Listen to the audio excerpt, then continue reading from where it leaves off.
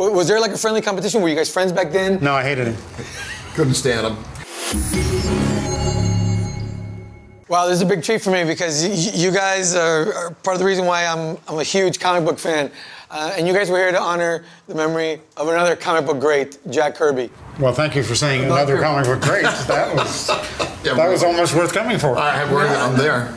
You guys had a chance to interact with him briefly when you guys were in the business, correct? Well, I met him twice, and we, we both had a similar experience of talking to him and not remembering anything he said because we were both. Total fanboy moment. You guys were just. Oh yeah, absolutely. Well, I was amazed the first time I met him because he was this little guy, you know, and I, I was going, where do you keep it all, for God's sake?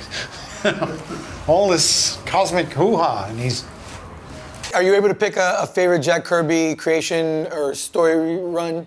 If I take one story, Fantastic Four, 51, This Man, This Monster, a one-shot story, doesn't continue. It shows all the Fantastic Four, all their characters, how they react to situations outside their control, and the fact that they're able to bring their example is so good, it brings heroism and nobility to a guy who did not start with in the beginning of the story. As short as the story is, about 20 pages, 22, whatever they were then, it's just, it's very moving, beautifully drawn, well written. It's a great story. You guys both stood on the, on the shoulders of two of Kirby's great creations, Fantastic Four and Thor. Was the specter of, of Jack Kirby hanging over you, or, or were you just in such a zone there? Not not think not, about not the specter. I was I said on the panel earlier today that when I was handed the Fantastic Four, it was a little bit like saying, I've never done drugs before. I think I'll start with heroin. You know, just bam into the deep end, right? But after maybe I don't know about ten issues, I kind of worked my way into it. But Kirby was always like a guiding force, not a nothing I was scared of. Also, at the time, I mean, I did Thor, I've been, I've been doing comics about 11 years when I got Thor to do. And I did all my kind of Jack Kirby tropes of big stuff and giant cosmic things. And so I got to do it again in 83 and write it, I had all that stuff out of my system. I could still be inspired by Jack, but I didn't feel I had to be Jack, uh, you know, as I said in the panel, as if I had any chance Yeah. of being Jack.